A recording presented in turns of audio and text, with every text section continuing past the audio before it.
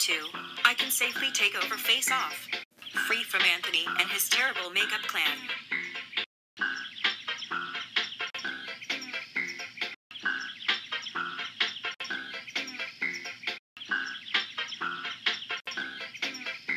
And thank you to you too.